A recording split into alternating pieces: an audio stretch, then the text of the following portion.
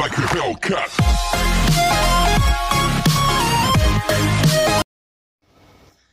Hi guys Bharat sir biology channel में आपका स्वागत है। कैसे हैं आप लोग? आप लोग घर में सुरक्षित हैं? बहुत अच्छी बात है।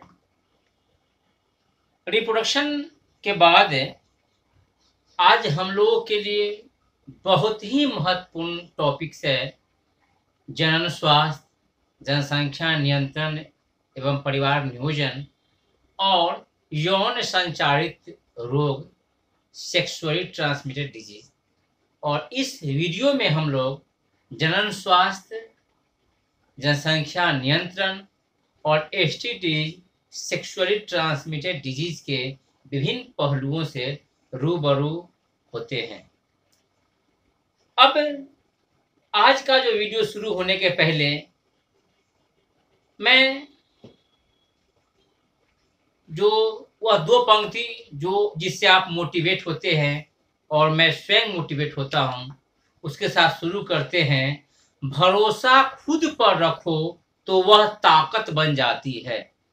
भरोसा खुद पर रखो तो वह ताकत बन जाती है और दूसरों पर रखो तो वह कमज़ोरी बन जाती है।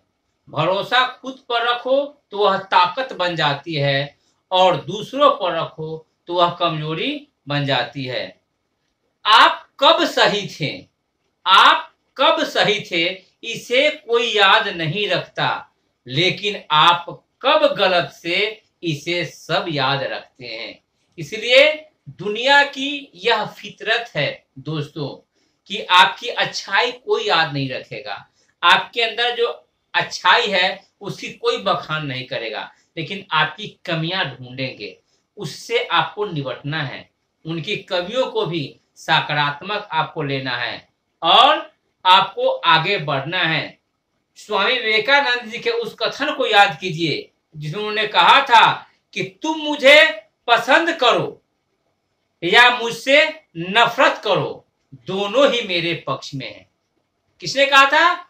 स्वामी विवेकानंद यूथ आइकॉन जिसको कहते हैं। उन्होंने कहा था कि तुम मुझे पसंद करो या तुम मुझे नफरत करो, दोनों ही मेरे पक्ष में है। क्योंकि अगर तुम मुझे पसंद करते हो तो मैं आपके दिल में हूँ। और तुम अगर मुझसे नफरत करते हो तो मैं आपके मन में हूँ, पर रहूँगा आपके पास ही। यानी जीवन के हर कठिन प्रश्न का जीवन से ही हल मिलता है। इसलिए आपको अपने आप में भरोसा लानी है, अपने आप पर विश्वास करना है और इसी विश्वास के साथ प्रगति के मार्ग को प्रशस्त करना है। आपकी कोई प्रशंसा करता है, कोई शिकायत करता है, कोई कमियाँ निकालता है, दोनों को ही सकारात्मक तरीके से लेना है। कमियाँ निकालता है, उसके भी आप दिमाग में हैं। और जो प्रशंसा करता है, उसके भी आप दिल में हैं। इसलिए दोनों को सकारात्मक वे में लेते हुए आपको आगे बढ़ना है। तो आज हम लोग चर्चा करेंगे reproductive health family planning and sexually transmitted disease STD सबसे पहले जनन स्वास्थ्य रिप्रोडक्टिव हेल्थ क्या है? रिप्रोडक्टिव हेल्थ क्या है? तो जनन स्वास्थ्य टॉपिक तो आपको ये थोड़ा सा आश्चर्य लगता होगा कि स्वास्थ्य तो मैंने पढ़ा है हेल्थ पढ़ा है कि हेल्थ क्या है, जिसमें डब्ल्यू एच ओ ने कहा है कि स्वास्थ्य वह अवस्था है जिसमें व्यक्ति शारीरिक, मानसिक यानी बौद्धिक, सामाजिक, भावनात्मक रूप से पुष्ट होते हैं। यानी फिजिकली मेंटली सोशली और इमोशनली फिट होते हैं। स्वास्थ्य तो जान गए, लेकिन यहाँ जनन स्वास्थ्य की बात होती है। जनन स्वास्थ्य की क्या आवश्यकता है? जरा सोचिए। आज से कुछ वर्ष पहले तक के बड़े भयावह मृत्यु दर में देखा जाता, देखा गया और वो आंकड़े बताया कि बच्चियाँ जिनकी कम उम्र में शादी हो जाती है और वह अगर बच्चे को वह जन्म देती है तो बहुत से ऐसी माँ जन्म देने के बाद अपने जान को गंवा बैठती थी। उनके प्राण चले जाते थे। उनके जीवन, उनके अस्तित्व पे खतरे के बादल मंडराते थे और वे अपने जीवन से हाथ धोते थे। आखिर क्यों? आखिर उनके स्वास्थ्य क्या जनन के लायक उपयुक्त नहीं थे? प्रिपेयर नहीं थे। एक स्वास्थ्य यहाँ जनन स्वास्थ्य जनन के लिए स्वास्थ्य होना। तो आज हम लोग जो टॉपिक दे रहे हैं, आप इस पूरी वीडियो को देखेंगे। बहुत बहुत महत्वपूर्ण तथ्यों को हम इसमें दर्शाएँगे और चर्चा करेंगे, जो आपके लिए, आपके परिवार के लिए, आने वाले पीढ़ी के लिए बहुत ही सार्थक सिद्ध होगा। तो आइए शुरू करते हैं। Reproductive health according to the world world health organisation W H O reproductive health means a total well-being in all aspects of reproduction that is physical emotional social and behavioral. According to the world health organization who reproductive health means a total well-being in all aspects of reproduction that is physical emotional social and behavioral. Who had who has prepared following guidelines about the knowledge of reproduction and reproductive health. It is moral right of every human being to know about what is first point overpopulation its ill effects and need to control it knowledge of reproductive organs and sexually transmitted disease sex education, and awareness about reproduction, birth control devices, prevention of sex abuse and sex related crimes. Here we discussed about what is reproductive health according to the World Health Organization. Reproductive health. That means we should maintain the such type of health which are able to reproduction that means they are physically, mentally, emotionally, socially, and behaviorally fit. That is reproductive health. And it should be maintained. So, in other way, child bearing and women's health की हम बात करते हैं तो women's health is a very essential for every family no doubt women's health is very essential for every family, society, and a nation also. Malnutrition and stress during pregnancy are the major causes of ill health and childbearing women. Through proper family planning, programs, and other measures, the health of women can be maintained. Some of the following measures can be taken. What is measures? By avoiding unwanted pregnancy. By avoiding unwanted pregnancy. By limiting the number of births and proper time gap between subsequent pregnancy. Bearing the child at optimum age. The most proper age for bearing a child for women is between the age of 20 to 35 years and by providing sufficient and balanced nutrition to pregnant and lactating women. तो हमने reproductive health को देखा अब थोड़ा हिंदी भाषी बच्चों के लिए जो बच्चे हिंदी में समझते हैं उनके लिए जनन स्वास्थ्य क्या है तो अभी हम लोगों ने इंग्लिश में देखा कि जनन स्वास्थ्य क्या है अब हिंदी में जनन स्वास्थ्य क्या है? तो डब्ल्यू विश्व स्वास्थ्य संगठन ने कहा कि जनन स्वास्थ्य, जनन संबंधी सभी तथ्यों के साथ एक संपूर्ण स्वास्थ्य है, जो शारीरिक, मानसिक, भावनात्मक और व्यवहारिक रूप से पुष्ट होते हैं। वैसा स्वास्थ्य जो शारीरिक मानसिक भावनात्मक, सामाजिक और व्यवहारिक रूप से संपुष्ट हो और उसी से प्रजनन की क्रिया जब होती है तो वैसे जच्चा और बच्चा, यानी जो बच्चे होते हैं वो भी और उनके जो माँ और बच्चे दोनों स्वस्थ होते हैं और वे देश, सोसाइटी के लिए, परिवार के लिए, राष्ट्र के लिए ये बहुत उपयोगी होता है। तो जनन स्वास्थ्य के विषय में कौन कौन सी जो पहलू है, उसको ध्यान देने की बात है। तो जनता के बीच जनन संबंधी विषयों पर विभिन्न उपाय करना, जैसे ऑडियो वीडियो विजुअल प्रोग्रामिंग प्रचार प्रसार से, ये उसके बाद उसके बैनर्स के द्वारा स्लोगन्स के द्वारा, ये प्रचार प्रसार समाज में और खास करके वैसे बस्तियाँ में जो अभिवंचित वर्ग के हैं, जहाँ शिक्षा का अभाव है अभी भी, और वो इस चीज़ को नहीं समझते हैं और कम उम्र में ही शादियाँ कर देते हैं अपने बच्चों को, उस एरियाज़ में, उस क्षेत्रों में ये बहुत महत्वपूर्ण है।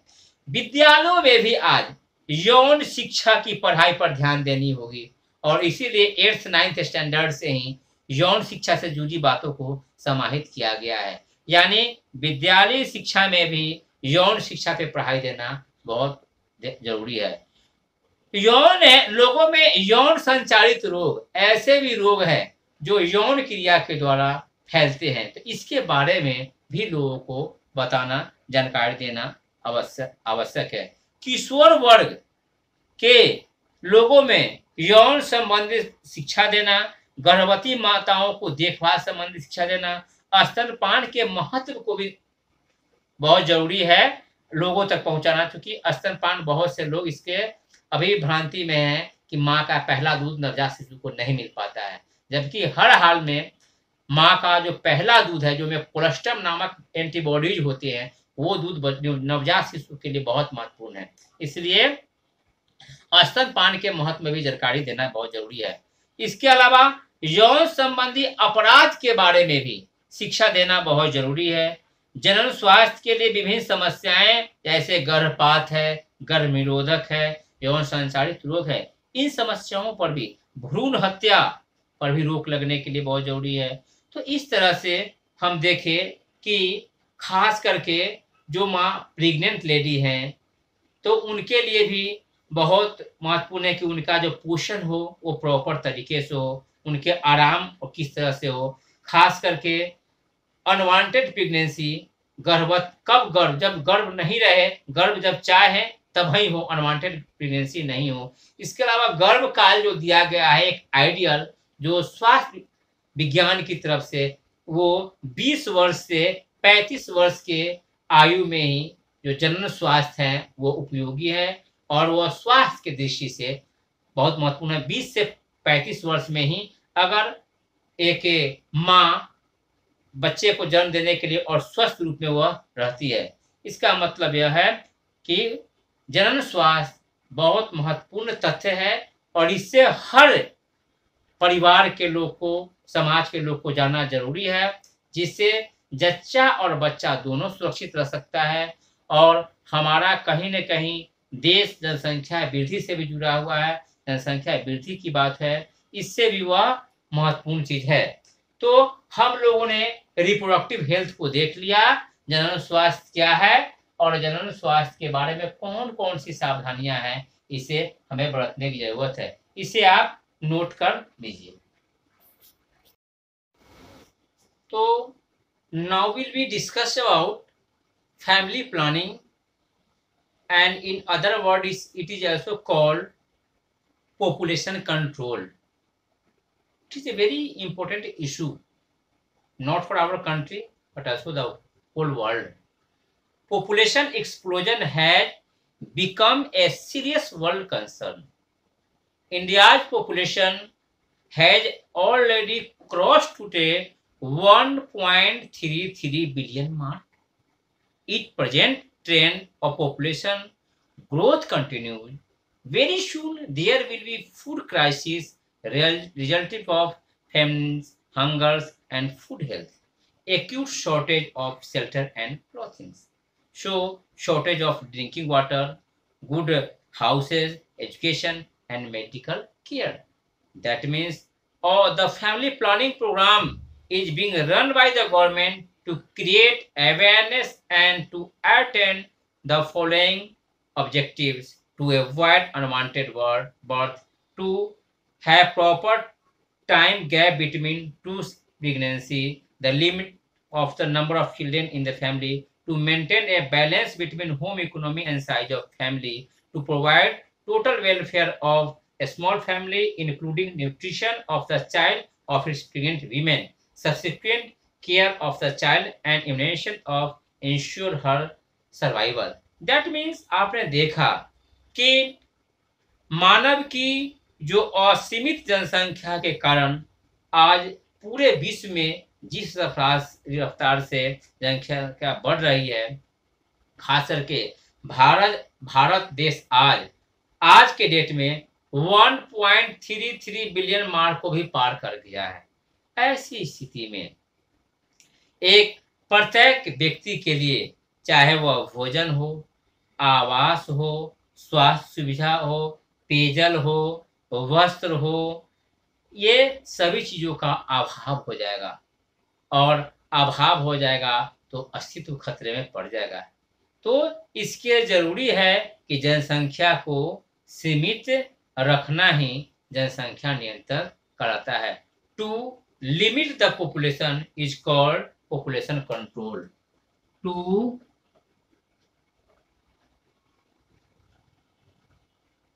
limit the population is called population control. यानी जनसंख्या नियंत्रण क्या किसे कहते हैं? तो जनसंख्या को सीमित रखना ही जनसंख्या नियंत्रण है। क्या है? तो जनसंख्या को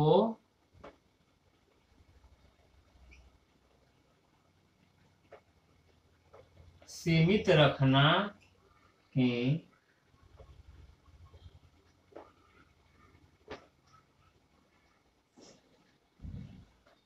जनसंख्या नियंत्रण कहलाता है। तो इस तरह से हमने देखा और एक प्रत्येक व्यक्ति के लिए अगर अवलोकन किया जाए तो उनके लालन पालन, अपने बच्चों के लालन पालन हो, उनकी शिक्षा का प्रबंध हो, उनके आवासन के प्रबंध हो, उनके आवश्यक सुख सुविधा की बात हो तो वो नहीं हो पाता है। तो इसीलिए हमें ज़रूरी है कि परिवार के संख्या को क्या करे? लिमिट करे। भारत सरकार के द्वारा उन्नीस सौ इक्यावन में इन 1951 में परिवार नियोजन की शुरुआत की गई। परिवार नियोजन की शुरुआत। That means family planning started in 19 51 by the government of India Bharat सरकार के द्वारा उन्नीस सौ इक्यावन में यह प्रश्न पूछता है और ये आपके किसमें ये आपके बहुत से कॉम्पिटेटिव एग्ज़ाम में यह प्रश्न पूछे जाते हैं कि भारत में परिवार नियोजन की शुरुआत कब हुई थी? तो your answer will be 1951 family planning started. तो आपने देखा कि जनसंख्या को सीमित कैसे करेंगे और कहीं ना कहीं यह बहुत महत्वपूर्ण चीज़ है कि परिवार के संख्या को हम कैसे सीमित, क्योंकि भारत एक विकासशील देश है, हमारे पास संसाधन सीमित मात्रा में है और जनसंख्या के दृष्टि से हम दुनिया में दूसरे नंबर पे है। जबकि की एरिया या क्षेत्रफल की दृष्टि से सातवें नंबर पे है। तो भूभाग हमारे पास कम है, हमारे पास संसाधन सीमित है। लेकिन जनसंख्या हमारी बहुत तीव्र गति से बढ़ रही है। तो ऐसी स्थिति में हमें जनसंख्या पे नियंत्रण करना बहुत ज़रूरी है। तो जनसंख्या नियंत्रण के लिए दो प्रक्रिया है। एक नेचुरल मेथड और दूसरा है आर्टिफिशियल मेथड। तो नेचुरल मेथड और आर्टिफिशियल मेथड दोनों का, लेकिन आज नेचुरल मेथड उतना इफ़ेक्टिव नहीं है। तो पहला है नेचुरल मेथड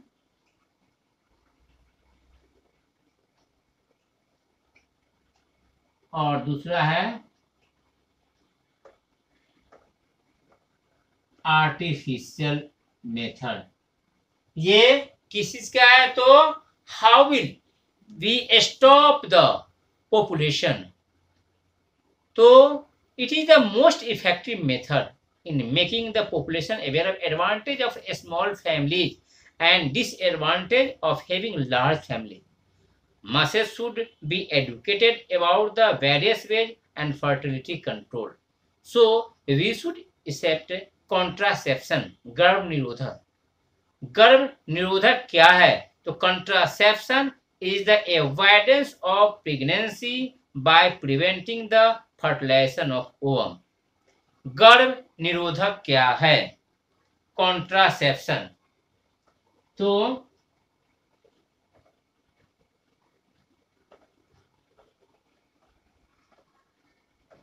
कॉन्ट्रासेप्शन गर्भ निरोधक क्या है तो गर्भ निरोधक यानी contraception is the avoidance of pregnancy contraception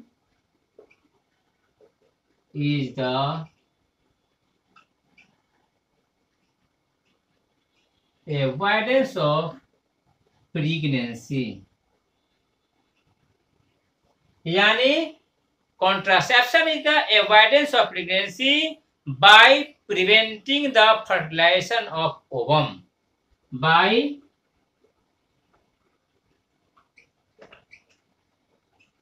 preventing the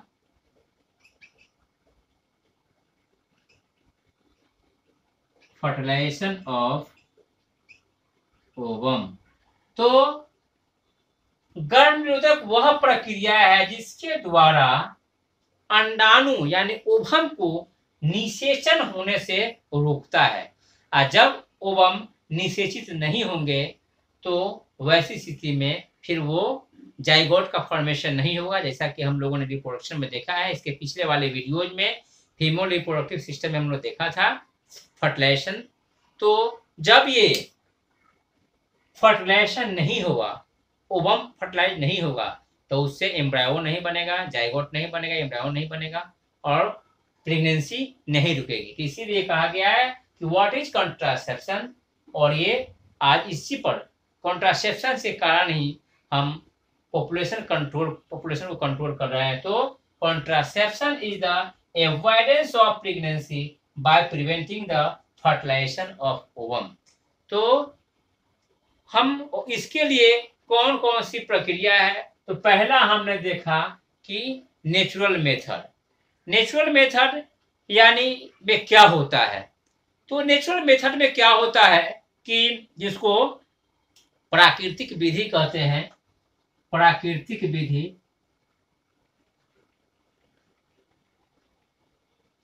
तो प्राकृतिक विधि से किस प्रकार को हम गर्भ धारण को रोक सकते हैं? तो इसमें बताया जाता है कि अगर कुछ दिनों तक मैथुन या संभोग को रोक दिया जाए, तब उस दौरान स्त्री के योनि में बीज प्रवेश नहीं करेगा, जिससे अंडाणु निषेचन की संभावना नहीं होगी। अतः संभोग के समय समंजन अंडाणु निषेचन को रोका जा सकता है और सामान्यतः मासिक धर्म या मासिक साइकिल के चौदहवें दिन अंडाशय से परिपक्व अंडाणु निकलते हैं। अर्थात अंडोत्सर्ग के दो मासिक चक्रों के करीब करीब बीच में होता है और उस चौदहवें दिन मेंस्ट्रुअल साइकिल के चौदहवें दिन के आसपास अगर संभोग से दूर रहा जाए तो अंडाणु का निषेचन नहीं होगा और प्रेगनेंसी नहीं होगी। लेकिन यह भी सफल नहीं है। कभी कभी मानवीय भूल के कारण यह क्या है? वैसी स्थिति में ये भूल हो जाती है और फिर प्रेगनेंसी रुक जाता है। इसीलिए यह बहुत कारगर विधि नहीं है। दूसरा है आर्टिफिशियल या मैकेनिकल मेथड इसको कहते हैं मैकेनिकल मेथड यानी यांत्रिक विधि। तो यह आज प्रभावी है और इसे आजकल प्रयोग में लाया जाता है। तो आर्टिफिशियल जो मेथड ऑफ़ कॉन्ट्रासेप्शन है, वो आजकल उपयोगी साबित हो रहे हैं। तो जिसमें मैकेनिकल मेथड्स में पहला है विड्रॉल टेक्निक्स क्या है?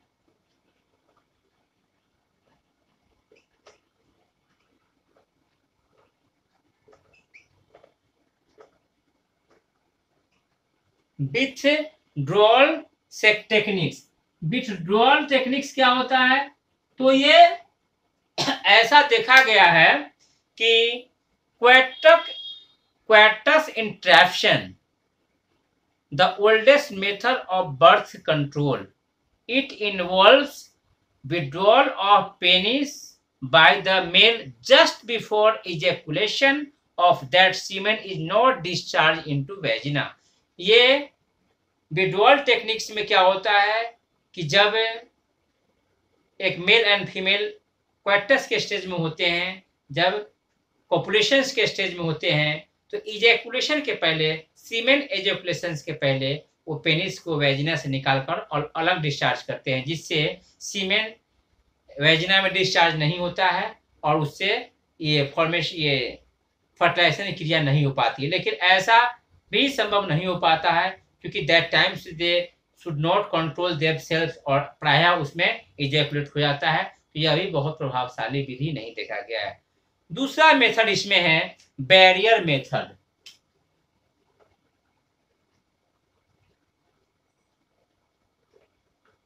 Barrier method. Barrier method से किस प्रकार गर्भ को रोका जा सकता है? गर्भ को निरोधित किया, निरोधक के रूप में हो जाता है। इसमें पहला है, आप देखते होंगे, कॉन्डोम।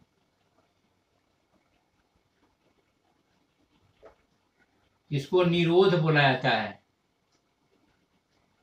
कॉन्डोम बैरियर मेथड्स में condom it is use by men it prevents the deposition of semen into the vagina use of condom also protects both male and female from sexually transmitted disease and its तो male penis में condom या निरोध का इस्तेमाल करते हैं ताकि जब ये पॉपुलेशन के दरमियान ये जब इनसे सीमेंट डिस्चार्ज होता है इजेकुलेट होता है तो फिर वेजिना में वो नहीं जाता है। तो इस तरह से यहाँ गर्भ की संभावना नहीं रहती है। और दूसरा जो महत्वपूर्ण चीज़ है कि इसके इस्तेमाल करने से कॉन्डोम से एस सेक्सुअली अगर मेल में कोई सेक्सुअली ट्रांसमिटेड डिज़ीज़ है तो इससे बचा जा सकता है फीमेल्स को बचा जा सकता है। तो ये सेक्सुअली ट्रांसमिटेड डिज़ीज़ को भी प्रोटेक्ट करता है। तीसरा, दूसरा इसमें आता है डायफ्राम कॉन्डोम के बाद आता है कॉन्डोम ये मेल इस्तेमाल करते हैं। कॉन्डोम किसको कौन करते हैं? मेल करते हैं।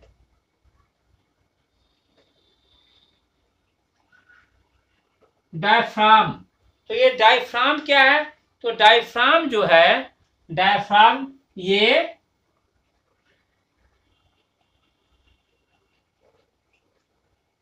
फीमेल फीमेल द्वारा इस्तेमाल होता है और ये राउंडेड लेटेक्स कैप होता है क्वाइलिंग स्प्रिंग के रूप में और ये वेजिना के डीप में ये एडजस्ट कर दिया जाता है और जिससे क्या होता है, सीमेन को के इन, स्पर्म के एंट्री को यूट्रस में जाने से यह रोकता है। तो ये डायफ्राम कॉन्डोम्स मेल लगाते हैं, डायफ्राम फीमेल लगाता है। और इसके बाद एक है I U C D method ये आजकल बहुत ज़्यादा प्रयोग हो रहे हैं।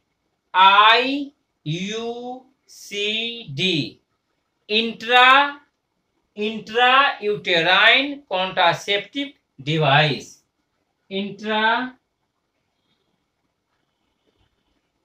intrauterine contraceptive devices. IUCD the intrauterine contraceptive devices जो कॉमनली नोन एज लूप इसको लूप या कॉपर टी कहते हैं। और ये आजकल ज़्यादातर इस्तेमाल होते हैं आई यू सी डी जो है इंट्रायूट्राइन कॉन्ट्रासेप्टिव डिवाइस जो है, जिसे लूप हो, या कॉपर टी है, ये एक निश्चित समय के लिए, चाहे वो तीन साल के लिए हो या पाँच साल के लिए, इसका इस्तेमाल होता है। और इससे क्या है? The birth control pills by taken orally by female every day और इसमें क्या है? This is inserted in the uterus of female female के यूट्रस में यह फिट हो जाता है। तो ये हमने बैरियर मेथड को देखा। अब जरा केमिकल मेथड को देखें कि रासायनिक विधि के द्वारा आपने लिख लिया होगा कि विड्रॉल मेथड टेक्निक है, उसके बाद बैरियर मेथड में condoms diaphragm and I U C D intrauterine contraceptive device इसमें कॉपर टी आते हैं। अब हम लोग केमिकल मेथड्स में रासायनिक विधि के द्वारा किस तरह से हम लोग गर्भ को रोक सकते हैं तो केमिकल मेथड में हम लोग देखें। Chemical method. केमिकल रासायनिक विधि में क्या होता है? तो एस्पर्मिसाइड्स पहला क्या है? एस्पर्मिसाइड्स।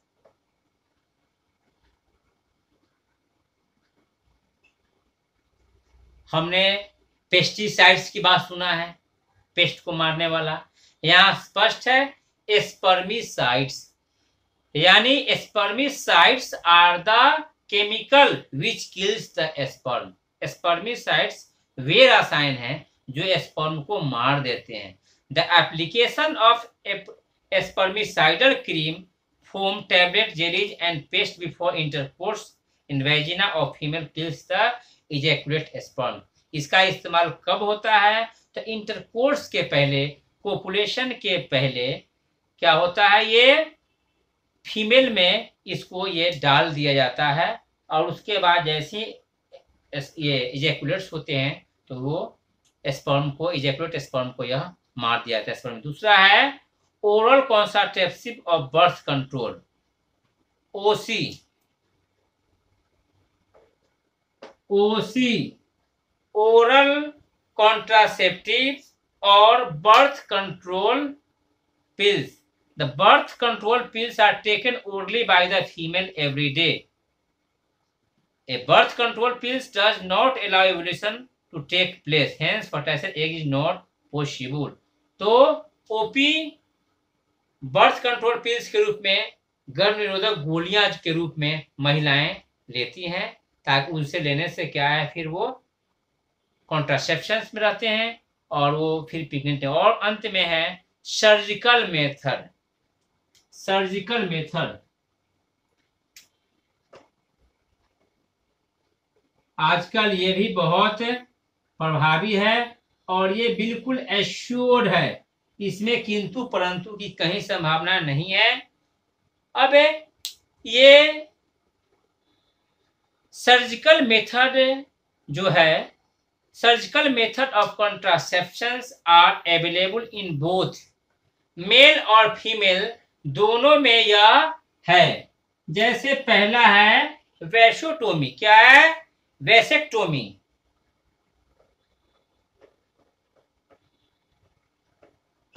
वैसेक्टोमी क्या है? तो vasectomy is perform in males males में भी सर्जिकल द्वारा ऑपरेशंस के द्वारा।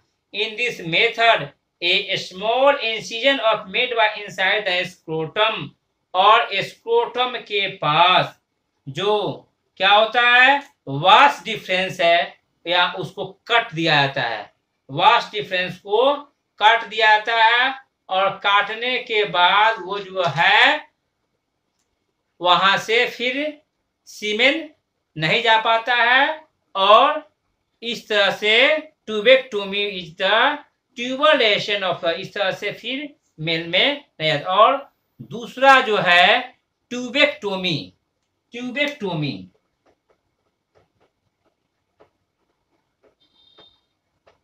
ये मेल में देखें, क्या होता है?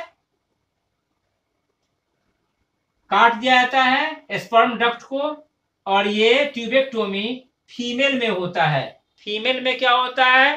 तो ये फीमेल में जब ओवरी से फैलोपियन ट्यूब उट्रस की ओर जाता है तो इस पे क्या है कि फैलोपियन ट्यूब को काट दिया जाता है। काट दिया जाता है जिससे एवोलेटेड एग जो है यूट्रस में प्रवेश नहीं कर पाते हैं। तो एग यूट्रस में नहीं आता है तो इसमें क्या है कि इस तरह से ये तो यहाँ से इसको काट दिया जाता है। और मेल में भी इस तरह से जो ये गया है, इसको यहाँ काट दिया जाता है। इस तरह से वैसेक्टोमी और ट्यूबेक्टोमी ये ऑपरेशन के द्वारा होता है। और एक महत्वपूर्ण चीज़ यह है एमटीपी के बारे में आप लोगों ने सुना होगा कि एम क्या होता है? तो MTP medical termination of pregnancy और ऐसा महसूस कहा भी गया है कि कभी कभी लोग गर्भपात कराते हैं, जो तीन माह तक ही होता है। और also प्रोप्टाइज the get rid of unwanted fetus unwanted fetus के लिए एमटीपी का भी इस्तेमाल होता है, यानी गर्भपात जिसे कहते हैं और तीन माह से पूर्व ही गर्भपात होता है। मेडिकल टर्मिनेशन और प्रेगनेंसी एम क्या है? MTP medical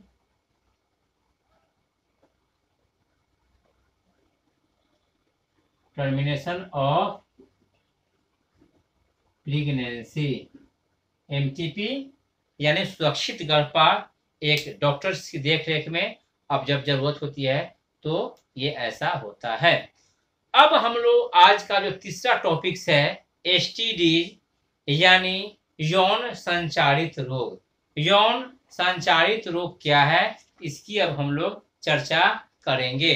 तो यौन संचारित रोग क्या है? जैसा कि नाम से ही स्पष्ट है, यौन संचारित रोग। तो हम लोग अब एस देखिए आज बहुत ही महत्वपूर्ण है। ये सभी वर्ग के लोगों को खास करके जो किशोर वर्ग के बच्चे हैं, हमारे किशोर हैं, उन वे लोग को बहुत ज़्यादा ज़रूरी है, क्योंकि वे सेक्स एजुकेशन के बारे में नहीं जान पाते हैं और भूल बस कुछ ऐसा गलती कर पाते हैं जिससे, इससे वह ग्रसित हो जाते हैं।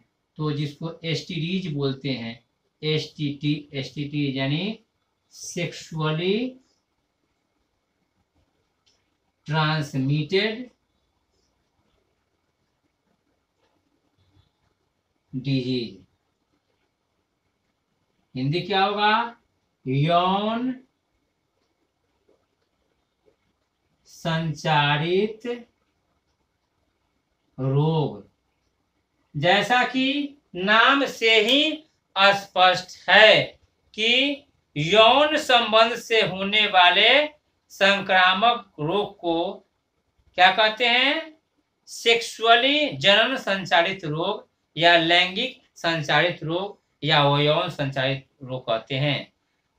सेक्सुअली ट्रांसमिटेड डिज़ीज़ वे रोग जो यौन संबंध के द्वारा, वे रोग जो यौन संबंध के द्वारा एक व्यक्ति से दूसरे व्यक्ति में होते हैं और ऐसे रोग, जो कई तरह के रोगाणु, जैसे बैक्टीरिया, वायरस, परजीवी, प्रोटोजवा, ईस्ट जैसे माइक्रोब्स यानी सूक्ष्म जीव के द्वारा होते हैं।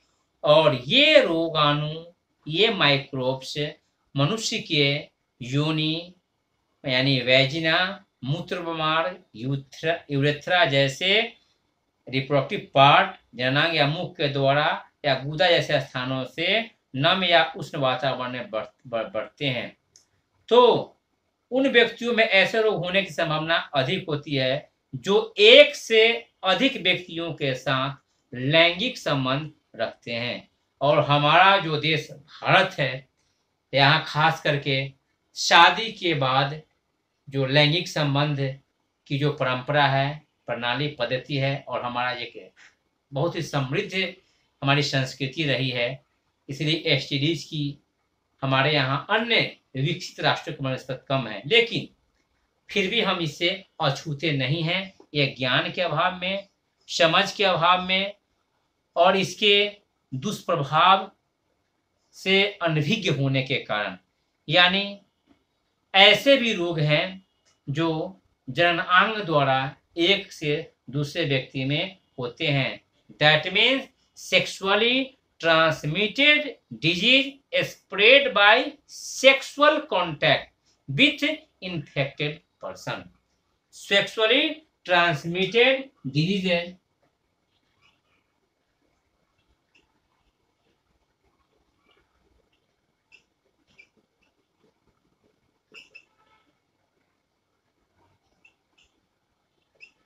यौन संचारित रोग S T D sexually transmitted disease से शॉर्ट में एस टी डी बोलते हैं। Spread by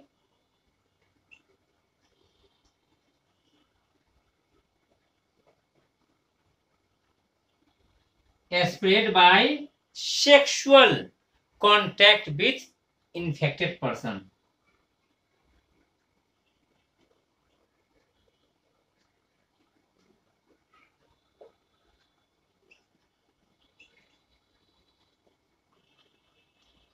यानी संक्रमित व्यक्ति के साथ लैंगिक संबंध स्थापित करने से यौन संचारित रोग होते हैं और इसको एसटीडी को विनरल डिज़ीज़ भी कहते हैं। एसटीडी को विनरल डिज़ीज़ भी कहते हैं। इसे आप बहुत गौर से सुनिएगा बच्चों। एसटीडी सेक्सुअली ट्रांसमिटेड डिज़ीज़ यौन संचारित हो इसको विनरल डिज़ीज़ भी कहते हैं। और ये बैक्टीरिया के द्वारा, वायरस के द्वारा, प्रोटोजोन्स के द्वारा होता है। कुछ एसटीडीज जो कॉमन है, उसको आप देख लीजिए। गोनोरिया का नाम आपने सुना होगा। और इसका स्पेलिंग कंपटीशन में भी पूछा जाता है, गोनोरिया। जिस तरह से डायरिया का स्पेलिंग होता है, उसी तरह से गोनोरिया का spelling G O N O double R H O E A gonorrhoea जो बैक्टीरिया के द्वारा होता है, किसी से होता है? बैक्टीरिया के द्वारा होता है, और इसके बैक्टीरिया का नाम है नेसेरिया गोनेरी। नेसेरिया गोनेरी नाम के बैक्टीरिया से ये गोनोरिया नाम का एसटीडीज है, यौन संचारित रोग है जो होता है। और इसके सिम्टम्स क्या क्या है? तो जनन अंग में यूरेथ्रा में पेन पेशाब के समय यूरिनेशन के समय पेनफुल यूरिनेशन होता है। इन्फ्लामेशन ऑफ़ रेक्टम गुदा में जलन होता है थ्रोट आइज़ में भी, गला में, आँख में दर्द होता है। और इट में also occur males causing skin lesion and urethritis.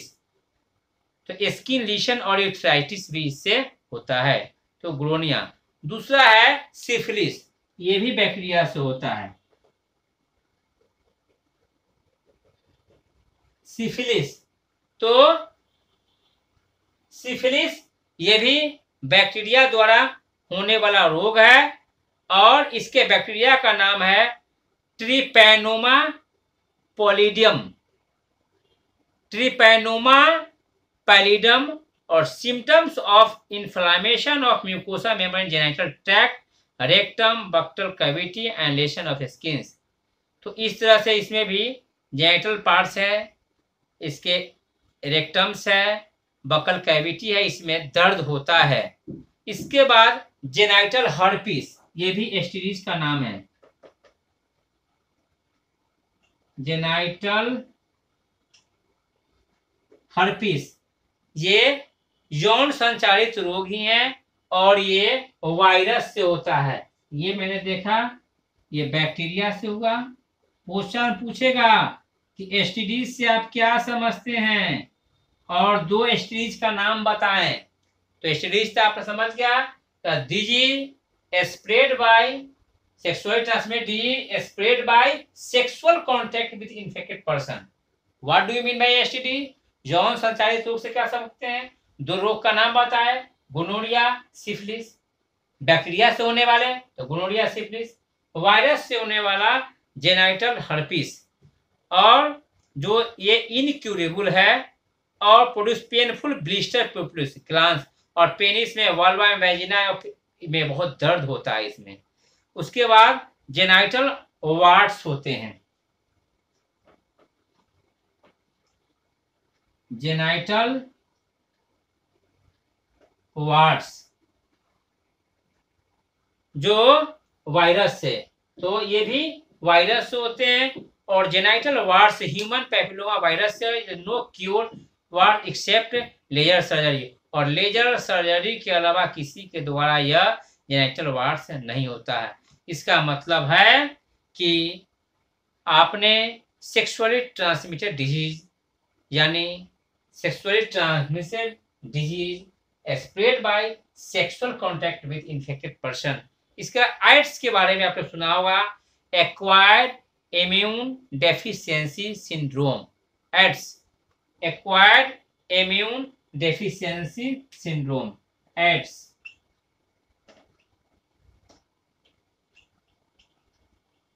acquired immune deficiency syndrome immune के जगह इम्यूनो भी होता है। इसलिए बच्चों ध्यान देंगे एक्वायर्ड इम्यून या इम्यूनो डेफिशिएंसी सिंड्रोम ये भी जो है एसटीडीज है। और जैसा कि आप जानते हैं कि AIDS is sexually transmitted disease It is a serious human health problem throughout the world. It was first detected in USA in 1981. Today, near about 20 million people in the world are HIV positive. Or the positive agent of AIDS is HIV, human immunodeficiency virus. HIV के द्वारा यह होता है।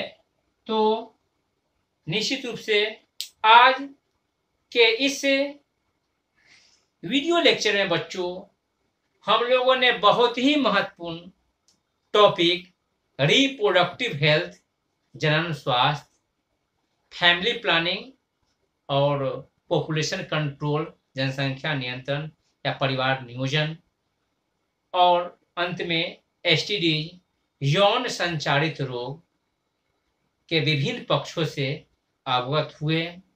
आप, मुझे विश्वास है कि आप जनरल स्वास्थ्य या जनसंख्या नियंत्रण और खास करके जो यौन संचालित रोग है, इसको समझ आपकी विकसित हुई होगी। आप इसे समझेंगे, अपने आप को स्वस्थ रखेंगे अपने लिए, अपने परिवार के लिए, अपने समाज के लिए और अपने राष्ट्र के लिए। और आपके द्वारा जो यह ज्ञान इस लेक्चर्स के द्वारा जो प्राप्त होते हैं, उसको शेयर्स भी करेंगे।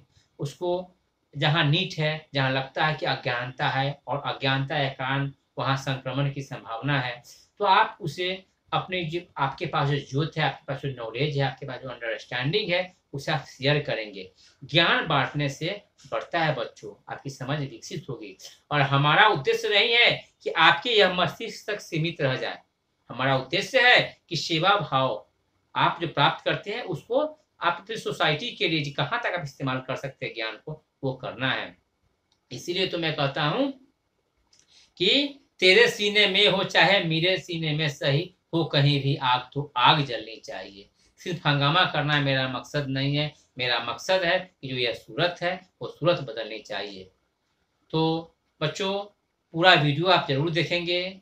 मोटिवेशनल वीडियो का जो आप लोगों ने कमेंट किया, मुझे बहुत वो, मैं मोटिवेट खुद हुआ, मुझे वो इंसेंटिव के तौर पर मिला, आपका बहुत स्नेह मिला। इस तरह से अब तक यदि कोई बच्चे ऐसे हैं जो मेरे इस चैनल को सब्सक्राइब नहीं किए हैं, वो ज़रूर सब्सक्राइब कर दें बेल आइकन को प्रेस कर दें नोटिफिकेशन के लिए लाइक्स कर दें कमेंट्स करें, आपका कमेंट्स मुझे प्रबलित करता है। मुझे एक हिम्मत नई ऊर्जा देती है और आप इसे आवश्यक लोगों तक ज़रूर शेयर करें। अपना आप ख्याल रखेंगे। बहुत बहुत धन्यवाद।